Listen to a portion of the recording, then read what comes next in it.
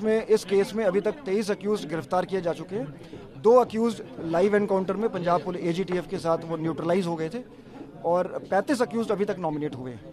Sir इसमें कुछ recovery थी वो कितनी हुई है और क्या बाहर से भी स्कोर किया गया पाकिस्तान से देखिए इसमें बाहर से बड़ा क्लियर सपोर्ट आया था गोल्डी बराड़ का।